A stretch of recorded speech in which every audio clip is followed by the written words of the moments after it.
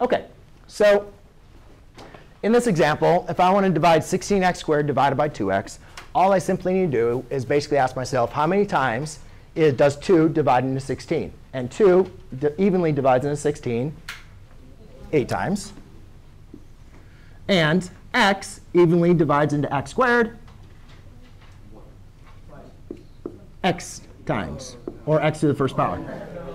Please remember when you're doing division with um, mono, when you're doing division with variables, just remember the rules of exponent state that when you have x to the m divided by x to the n, what you simply do is subtract the powers.